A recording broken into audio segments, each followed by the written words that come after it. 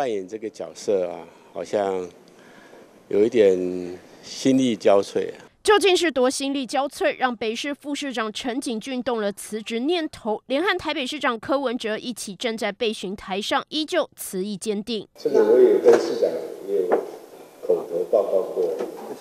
我我自己在这段期间呢，我讲说，我是扮演白衣之间的一些桥梁。其实说本来就希望他留下来，因为他的工作到其实他 working schedule 呢，就是工作行程都已经排到年底。柯文哲忙挽留，但自己也才和民进党分道扬镳，同样也忍不住吐心声。要先借这个机会来询问一下蔡总统，为什么我们会分手？要不要问一下？我们是被分手了，我也不晓得。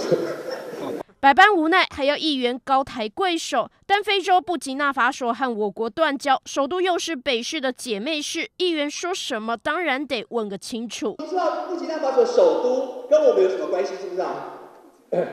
这个这个讲起来有点丢脸了。我是我是我我昨天才知道说，哎，那是我们姐妹姐妹市。是啊。这个上面的事我们没办法处理，啊，我们就是既然是姐妹市，我们还是说，我们会想办法维持这个城市外交的。你还是坚持两岸一家亲。对，那那个是在一个政治交流的层面，它是在文化啦，它是经贸层面，它不涉及政治层面。姐妹是要想办法维持下去，就像和民进党间现阶段也只能努力使出善意，从两岸到国际，柯文哲论调都成了议员质询考题。欢迎新闻郭燕婷、吕嘉恒台北报道。